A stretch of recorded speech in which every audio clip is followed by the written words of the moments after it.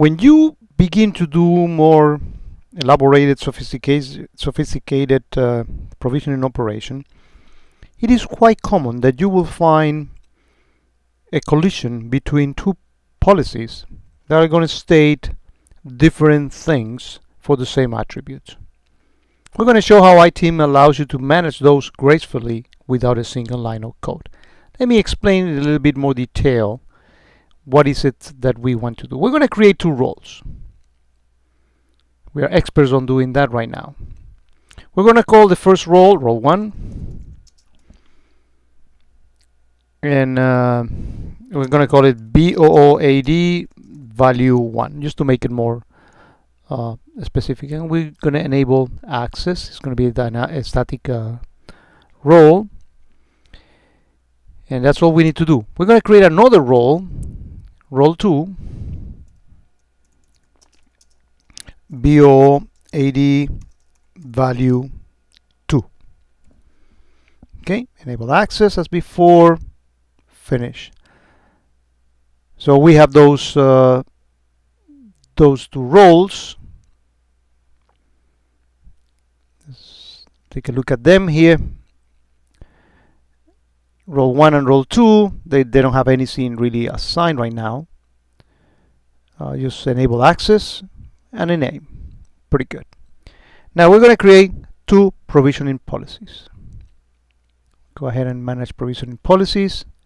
As we've done many times before we're going to create this provisioning policy and we're going to call it uh, let's also call it role 1 value 1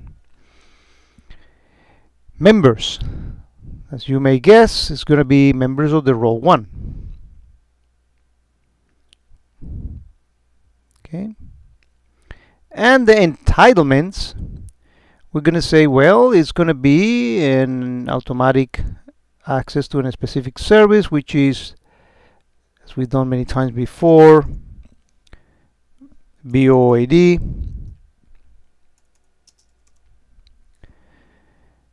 that's the one we want but we want within AD we want to create a parameter and we're going to use uh, the description field here in AD we're going to click continue and we're going to say that for that description value what we want to put is a mandatory field called value 1 okay? Continue. Submit. Immediately we're done. Now we're going to create another provisioning policy as you may guess very similar to the other one. I'm going to call this one role 2 value 2 and again members of the role 2 this time. I'm going to search for the roles not to see them all. Role 2 that's the one we want. And the entitlement is going to be not only an AD a BOAD account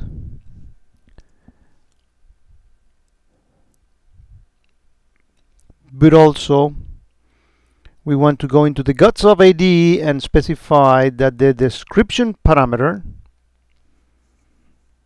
which is here is going to have a mandatory value of value 2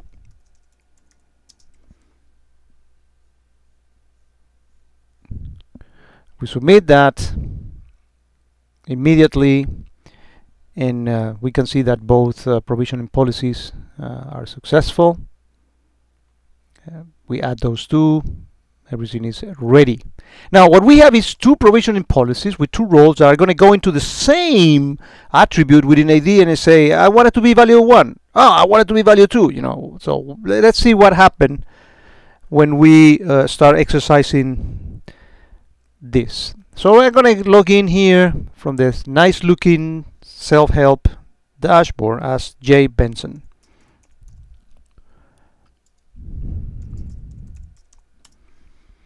We can see what accounts Jeff Benson, Jeff Benson has. Says that this one, and we can show actually if we want to go to AD, we never seen any any Benson guy there.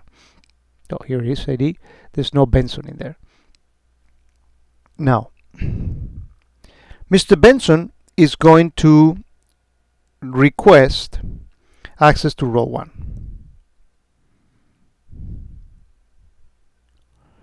I'm going to put here to see them all. Role 1. BO AD value 1. Request access. View the request. It's in process. We'll refresh. Should be more than done by, by then. And of course, if, as we expected, if we refresh this screen here, action refresh, we see that is a Benson here with value 1. Actually, we can click here and see in more detail. The description field is, is set to value 1. Pretty good. Now, what happened is Mr. Benson now requests access to role 2. And again, we're not putting any workflow for approvals in here, just to make the, the, the case more uh, dynamic faster. Role is now request access to role 2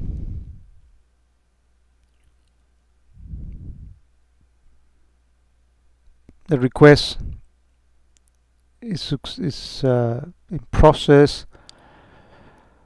When we refresh it will be done. And what is it that happened here? If we refresh also on AD we're gonna see what is it that you expect uh, to actually see here action refresh.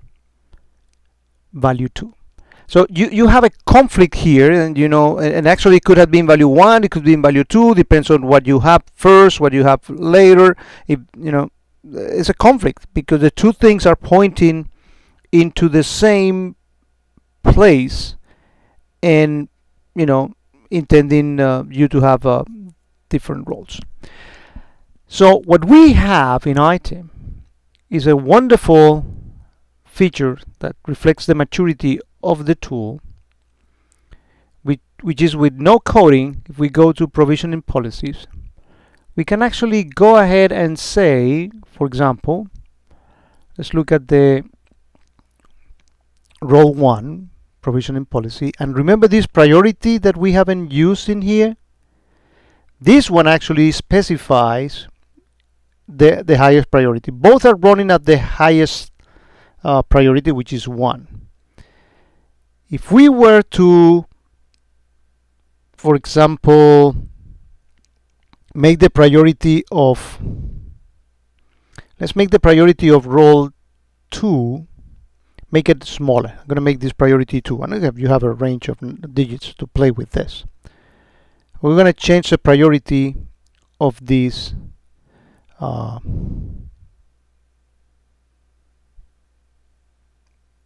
uh, provisioning policy.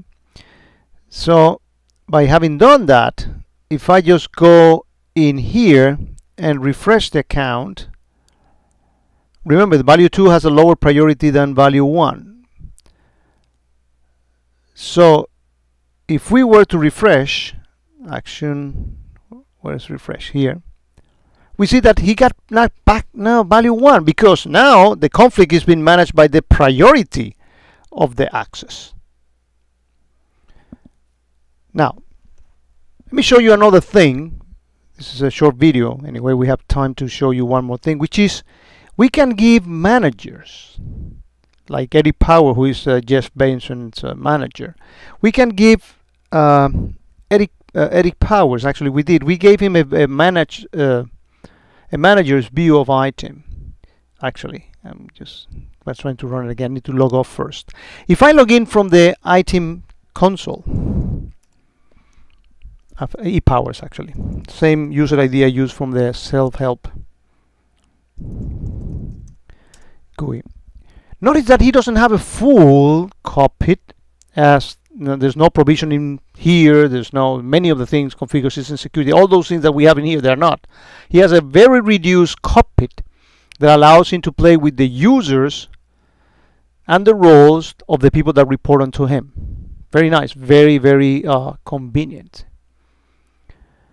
So he can actually go, for example, into roles and look for Benson for uh, role. Let's look for role uh, one. And we have role one, and actually we can see who has role one, who has the highest priority. Remember that that one we left it at one, and we reduced the value to to two. We can see who has that, and Mr. Benson has that. Pretty good. If we, what happened if we remove now? Mr. Benson for that group. Make it effective immediately. Managers can do this.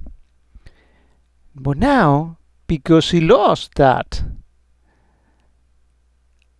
membership to that role, the other one who had a lower priority, but now he can play because uh, the other one doesn't exist, bang, he gets set to value 2. So you see the maturity of ITIM once more into the fact that you can do these sophisticated actions and again, not a single line of coding.